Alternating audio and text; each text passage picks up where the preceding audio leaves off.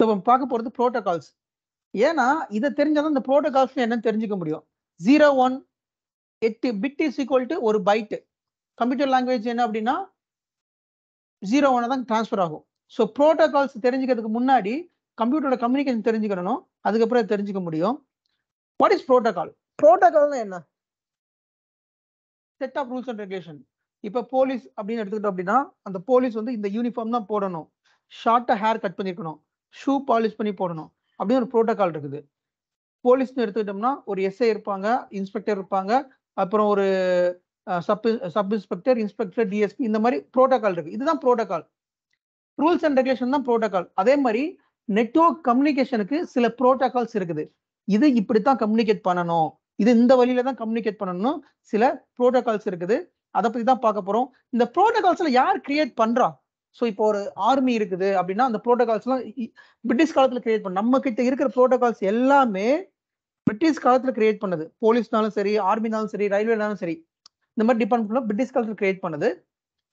இந்த நெட்ஒர்க் ப்ரோட்டோகால்ஸை யார் கிரியேட் பண்ணுறா அப்படின்னா இந்த ஆர்கனைசேஷன் தான் கிரியேட் பண்ணுறாங்க ஐ ட்ரிபிளி அப்படின்னு ஒரு ஆர்கனைசேஷன் இருக்குது. I ட்ரிபிளினா the institute of electrical electronics engineers so இவங்க வந்து எல்லாமே யூஎஸ்ல இருக்காங்க. இவங்க தான் வந்து இந்த போர்ட் இந்த போர்ட்னா இப்படி தான் இருக்கணும். இது இப்படி தான் கம்யூனிகேட் பண்ணணும். இந்த டேட்டா வந்து இப்படி தான் டிரான்ஸ்ஃபர் ஆகணும். இந்த பாக்கெட் இப்படி தான் டிரான்ஸ்ஃபர் ஆகணும்னு சொல்லிட்டு இது இப்போ இல்லை. பல ஒரு ஐ திங்க் ஒரு தேர்ட்டி ஃபார்ட்டி இயர்ஸ்க்கு முன்னாடி இதெல்லாம் டிஃபைன் பண்ணப்பட்டது. அப்போயே இந்த ஆர்கனைசேஷன் ஆரம்பிச்சு அவங்க டிஃபைன் பண்ணாங்க. இது இப்படித்தான் போகணும் அப்படின்னு சொல்லி டிஃபைன் பண்ணாங்க. உதாரணத்துக்கு இப்போ ஒரு கார் கார் இருக்குன்னு எடுத்துப்போமே. முதல் கார் நமக்கு எடுத்தவொடனே இவ்வளோ பெரிய காராக இருந்ததா? கிடையாது. அது ஃபர்ஸ்ட் ரெண்டு வீ நாலு வீல் வச்சு சும்மா ஓட்டி பார்த்தாங்க. அப்புறம் அதுக்கு மேலே இன்ஜின் மட்டும் வச்சு சும்மா ஓட்டி பார்த்தாங்க. அதுக்கப்புறம் ஒரு டேங்க் மட்டும் வச்சு சும்மா ஓட்டி பார்த்தாங்க. அப்புறம் சின்னதாக அதுக்கு ஒரு ரூஃப் போட்டாங்க. அப்புறம் க்ளோஸ் பண்ணாங்க. அப்படியே கொஞ்சம் கொஞ்சமாக கொஞ்சம் எவால்வேட் ஆச்சுல அந்த மாதிரி இந்த போர்ட் நெட்ஒர்க் கம்யூனிகேஷன் இதெல்லாமே கொஞ்சம் கொஞ்சமாக கொஞ்சம் கொஞ்சமாக எவால்வேட் ஆகி இப்போ வந்து கொஞ்சம் பெரிய லெவலில் நிற்குது இது எல்லாமே யார் கண்ட்ரோல் பண்ணுறா அப்படின்னா இந்த organisation control I triple IETF ISO ITU world web consortium இந்த ஆர்கனைசேஷன் தான் இந்த உலகத்தில் உள்ள ப்ரோட்டோகால்ஸ் எல்லாம் கண்ட்ரோல் பண்றாங்க.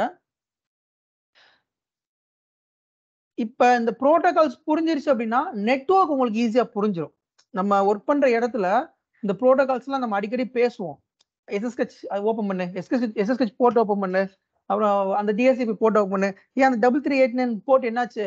ஏன் அது ஆடிப் எடுக்க முடியல? அந்த போர்ட்டை ஓப்பன் பண்ணு அப்பதான் ஆடிப் எடுக்க முடியும். இந்த மாதிரி நம்ம கம்யூனிகேட் பண்ணுவோம். அப்படி கம்யூனிகேட் பண்றப்ப அது உங்களுக்கு புரியாம இருக்கக்கூடாது. அது இல்லாம இன்டர்வியூல கொஸ்டின் கேட்பாங்க. வாட் இஸ் ப்ரோட்டோகால்னு கேட்பாங்க. சம்டைம்ஸ் போர்ட் நம்பர் கண்டிப்பா கேட்பாங்க. அதனால தான் இதை கான்சன்ட்ரேட் பண்ணி எடுத்துக்கிட்டு இருக்கேன். ஓகே இப்ப ஒரு நெட்ஒர்க் டிரான்ஸ்ஃபர் ஆகுதுன்னு சொன்னேன் இல்லையா? பாக்கெட்ல ஒரு ஒரு ஒரு கம்யூனிகேஷன்ல ஒரு கம்யூனிகேஷன் மீடியம்ல ஒரு பாக்கெட் டிரான்ஸ்ஃபர் ஆகுது. ஓகேவா ஜீரோ ஒன் பிட்ஸாக டிரான்ஸ்ஃபர் ஆகுது. அது எப்படி டிரான்ஸ்ஃபர் ஆகுது அப்படின்னா இதை சும்மா தெரிஞ்சுக்கோங்க. ஓஎஸ்ஏ லேயர் அப்படிங்கிற ஒரு ப்ராசஸில் டிரான்ஸ்ஃபர் ஆகுது. ஸோ இதில் இதில் ஏழு லேயர் உண்டு. L one L two L three L four L five L six இந்த மாதிரி ஏழு லேயர் இருக்குது இந்த ஒவ்வொரு லேயரை பற்றி சும்மா ஒரு டெஃபினேஷன் மட்டும் நான் சொல்கிறேன் சும்மா லைட்டாக புரிஞ்சுக்கோங்க. இதை நீங்கள் அண்டர்ஸ்டாண்ட் பண்ணணுங்கிற அவசியம் இல்லை. சும்மா ஒரு ஜென்ரல் நாலேஜுக்காக இந்த ஓஎஸ் லேயர் வந்து பார்த்துக்கோங்க. ஃபர்ஸ்ட் லேயர் வந்து ஃபிசிக்கல் லேயர் ஃபிசிக்கல் லேயர் அப்படின்னா என்னோட இங்க ஒரு கம்ப்யூட்டர் இருக்குது. நான் வந்து இங்கேருந்து ஒரு மெயில் அனுப்புறேன். ஓகேங்களா நீங்க வந்து எங்க இருக்கீங்க? பெங்களூர்ல இருக்கீங்க. ஓகே நீங்க பெங்களூர்ல இருக்கீங்களா? உங்களுக்கு ஒரு மெயில் அனுப்புறேன் அப்படின்னா நான் அனுப்புற மெயில் என்னோட ஐஎஸ்பிக்கு போகும். ஓகேங்களா என்னோட வீட்டில் இருக்கிற ஒய்ஃபை ரவுட்டர்ல இருந்து அது ஐஎஸ்பிக்கு போகும். இது வந்து ஓஎஃப்சி கேபிள் இந்த கேபிள் மூலமா போகுது இல்லையா? அப்புறம் இங்க எப்படி ரிசீவ் ஆகும்? மறுபடியும் அந்த OFC cable optical fibre cable மூலமா அந்த மெயில் இங்க வரும். இதெல்லாம் பேக்ரவுண்ட்ல நடக்கிறது. ஸோ இந்த பிசிக்கல் நெட்ஒர்க் இல்லையா இதை பாக்குறது தான் L one L one layer அப்படி சொல்றோம். இந்த பிசிக்கல் நெட்ஒர்க் தான் எல் ஒன் லேயர் சொல்றோம். எல் டூ லேயர் அப்படின்னா என்ன அப்படின்னா பாக்கெட்ஸ் ஃப்ரேம்ஸ் பாக்கெட்ஸ் இப்போ இந்த பிசிக்கல் நெட்ஒர்க்ல நம்ம பாக்கெட் அனுப்புறோம்ல. இந்த மாதிரி பாக்கெட்ஸ் நம்ம வந்து அனுப்புவோம். இதை பாத்துக்கிறது யாரு அப்படின்னா இந்த எல் டூ லேயர் சி நீங்க அனுப்புற ஒரு மெயிலுக்கு பின்னாடி நீங்க அனுப்புற ஒரு வாட்ஸ்அப் மெசேஜுக்கு பின்னாடி இவ்வளவு ப்ராசஸ் நடக்குது.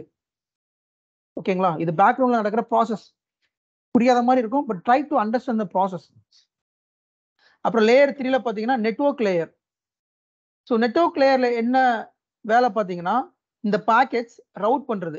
இந்த பாக்கெட்ஸ் இங்கிருந்து இங்கே தான் போகணும். இந்த பாக்கெட் இங்கிருந்து இங்கே தான் போகணும்.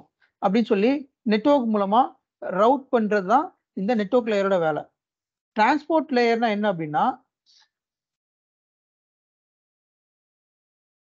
ஸோ டிரான்ஸ்போர்ட் லேயரோட வேலை இங்கே இருந்து ஒரு பாக்கெட்டை நம்ம இங்கே அனுப்புகிறோம் இல்லையா? அப்படி அனுப்புகிற பாக்கெட் கரெக்டாக சீக்வன்ஸில் வந்துருச்சா? End to end message delivery networks so நான் நான் வெயிட்டில் இருக்கிறேன். இங்கே இருந்து நீங்கள் பெங்களூரில் இருக்கீங்க வச்சுப்போம். உங்களுக்கு ஒரு மெயில் அனுப்புகிற அப்படின்னா இது வந்துருச்சா? அப்படிங்கிறது வந்து யார் பார்க்குறா அப்படின்னா அந்த டிரான்ஸ்போர்ட் லேயர் தான் பார்ப்பாங்க. இங்கேருந்து இங்கே அனுப்புகிற வேலையை வந்து டிரான்ஸ்போர்ட் லேயர் வந்து பார்ப்பாங்க. செஷன் லேயர் செஷன் லேயர் அப்படின்னா இந்த யூசருக்கும் நான் ஒரு யூசர் நான் அனுப்புகிறேன் நான் ஒரு யூசர் இந்த யூசருக்கும் கம்யூனிகேட் கம்யூனிகேஷனை கிரியேட் பண்ணுறது யார் அப்படின்னா இந்த செஷன் லேயர் இவங்க தான் வந்து ரெண்டு யூசருக்கும் இடையில ஒரு கம்யூனிகேஷனை கிரியேட் பண்ணுவாங்க. அப்புறம் ப்ரெசன்டேஷன் லேயர் ப்ரெசன்டேஷன் லேயர் அப்படின்னா இப்போ ஒரு வாட்ஸ்அப்ல ஒரு மெசேஜ் அனுப்புனாலோ அல்லது ஒரு மெயில் அனுப்புனாலோ அது பாதுகாப்பா வரணும். அதுல ஒரு இம்பார்ட்டன்ட் டேட்டா இருக்கும். உங்களை உங்களோட பிசினஸ் டேட்டாவா இருக்கலாம் அல்லது உங்களோட பர்சனல் டேட்டாவா இருக்கலாம் வாட் எவர் இட் இஸ் அதை யாரும் ஹேக் பண்ணக்கூடாது.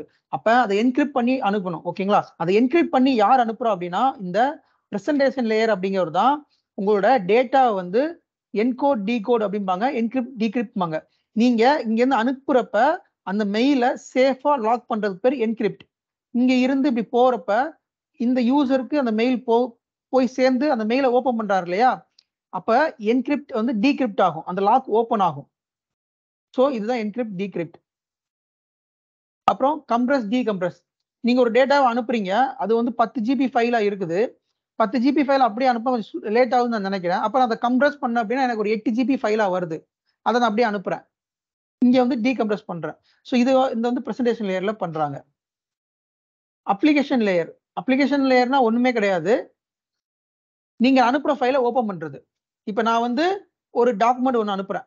ஓகேங்களா நான் வந்து முக்கியமான கொஸ்டின்ஸ் இன்டர்வியூ கொஸ்டின்ஸ் அப்படின்னு ஒரு டாக்குமெண்ட் உங்களுக்கு அனுப்புறேன் அப்படின்னா அந்த டாக்குமெண்ட்டை வந்து இந்த இடத்துல ஓப்பன் பண்ணுவீங்க இல்லையா? அது ஓப்பன் பண்றதுக்கு காரணம் யாருன்னா அப்ளிகேஷன் லேயர் ப்ரோட்டோகால் தான் ஓப்பன் பண்ண முடியும். ஸோ இதுல எல்லாமே இந்த ப்ரோட்டோகால்ஸ் இன்வால்வ் ஆயிருக்கு.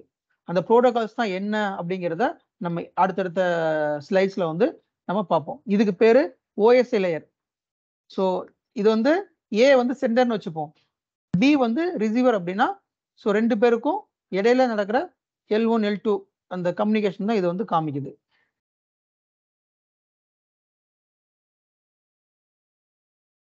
ஓகே ஓஎஸ்ஐ லேயர் வந்து நமக்கு தெரிஞ்சுக்கிட்டா போதும். ரொம்ப அது இது பண்ண அவசியம் இல்லை. தெரிஞ்சுக்கிட்டா போதும்.